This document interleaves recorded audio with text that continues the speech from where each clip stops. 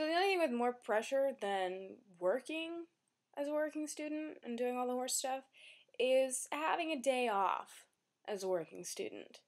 Because you work six days with the horses. You get all sweaty and dirty and gross. You come home smelling horrendous. And then you get one day off where you don't have to be at the barn at all.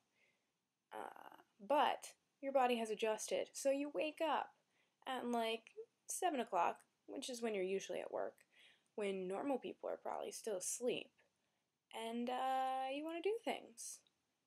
But you're a big chicken and you don't want to do them by yourself. So I could go for a hike.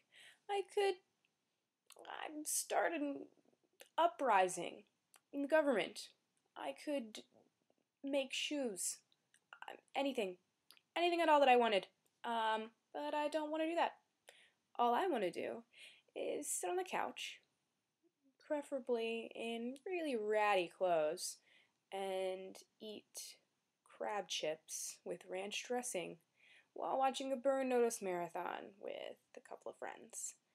Um, yeah, so obviously I'm not as much of a loner as I thought I was. Also, not very interesting.